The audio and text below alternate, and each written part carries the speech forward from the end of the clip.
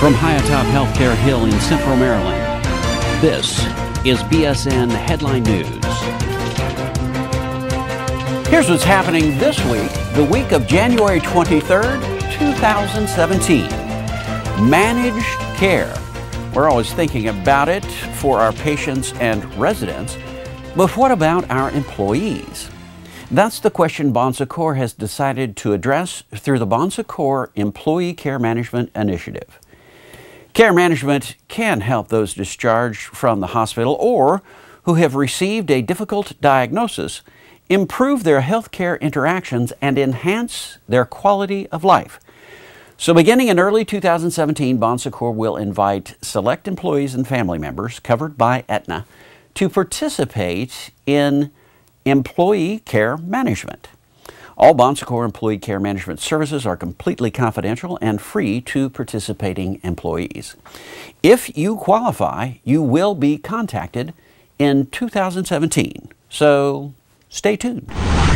Tax season is just around the corner, and employers are tasked with getting W 2 forms to their employees by January 31st. But if you want to get a head start on your 2016 taxes, go to w2.adp.com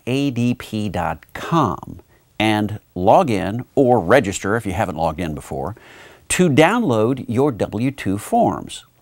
Alternatively, you can get to the login page through the Easy Access link in the Quick Links section on the IRS homepage. You'll still receive your W 2 through normal channels by January 31st. This just gives you a jump on your taxes if you're interested. So, again, once you are logged in to the ADP website, you can download your W 2 document. Alan Carroll, the longtime Chief Executive Officer of Bon Secours St. Francis Hospital in Charleston, South Carolina, has announced he will retire in May. Alan spent the last 27 years leading Bon Secours St. Francis Hospital. According to Mr. Carroll, I'm not sure what the future holds, but my wife Mindy and two grown daughters are fully supportive of my decision. I'm ready to turn the page and write the next chapter of my life.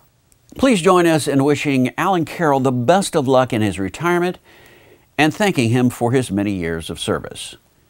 Other changes we wanted you to know about Bon Secours Ministries has two new members. Sister Elaine Davia and Kathy Connerton joined Bon Secours Ministries on January 1, 2017. It's nice to see their smiling faces. Watch for more detailed announcements to come. Well, that's it for this week.